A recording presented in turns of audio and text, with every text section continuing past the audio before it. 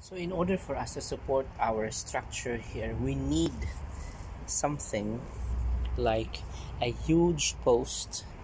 And you can see here this is actually a dead body or branch of a kamachili and I remember before I cut this and I carry it until here.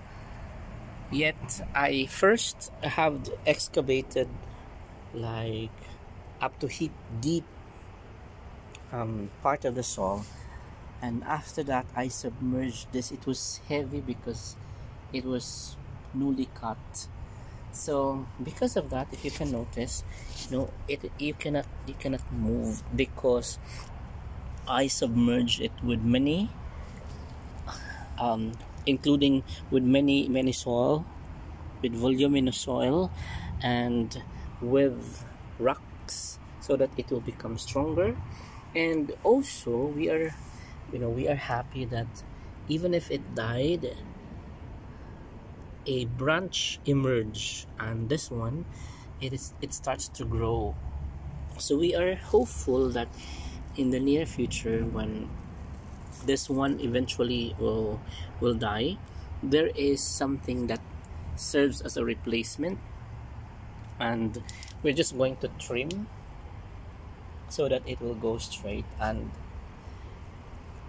it will provide us a, a structure that is well supported and a structure that is well built and strong.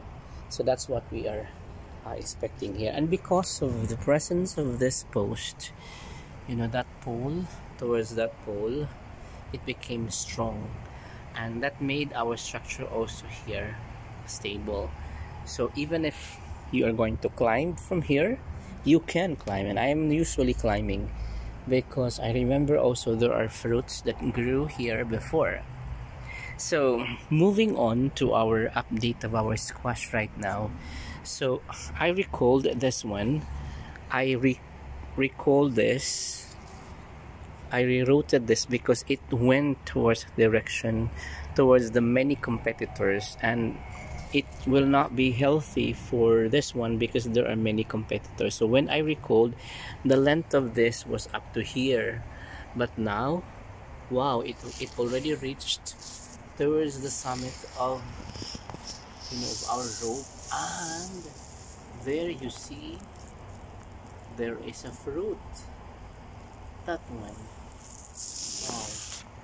So happy to see that. Ah. And this one also, there is a fruit. Wow. So happy to see this also. So this huge branch here is actually coming from a far, far source. It bent towards here.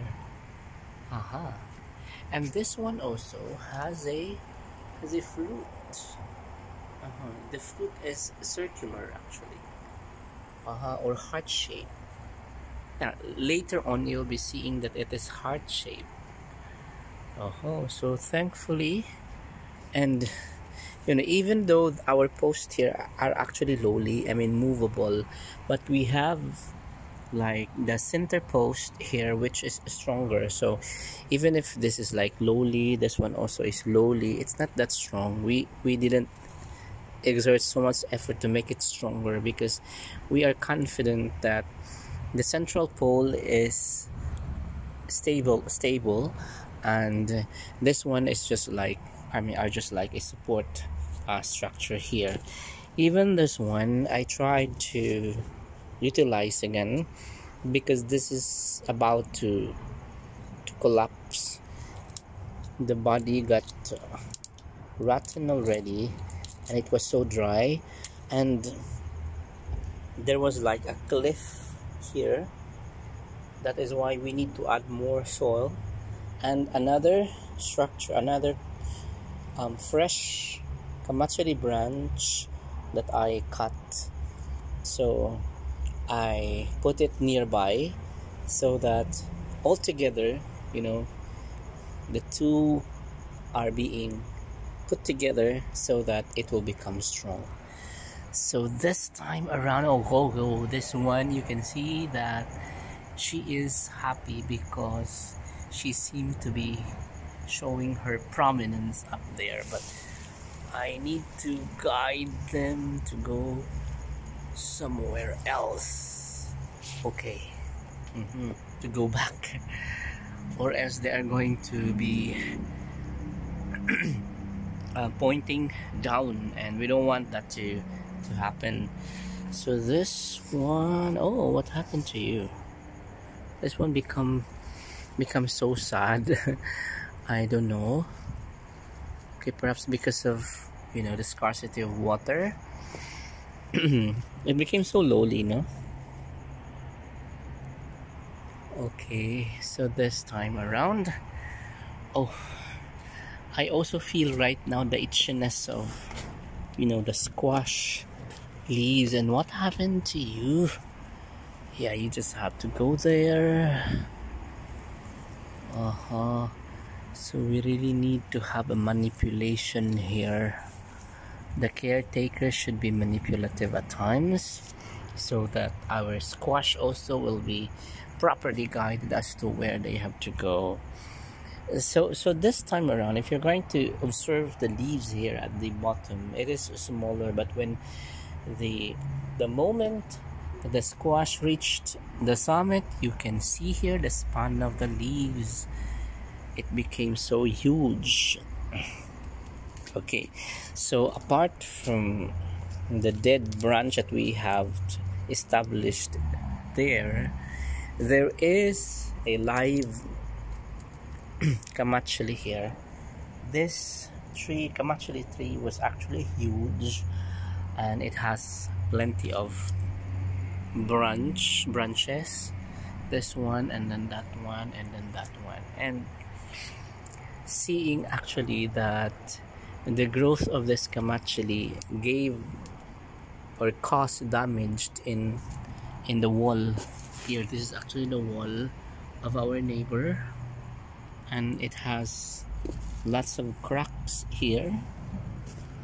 So I didn't wait for our neighbor to to say that you have to cut it. But I myself did did the cutting here so I cut this one. Okay. And I utilized some of its branch of course to um, to support our plantation here and that is why we have a structure. And I could say that this is strong because there is also another live you know kamachili tree here that serves also as our support system here. And it even extends towards the entrance. This is one thing. So towards that entrance so it became our de decoration here. And that's nice. This squash really is crossing from that corner towards this area. Really it is looking for the sun. So I'll just allow it to happen because there are still spaces here for this squash to fill in. So that is that is okay. It is not an issue at all for this squash to just grow in that manner. We will just allow that squash to grow in that manner.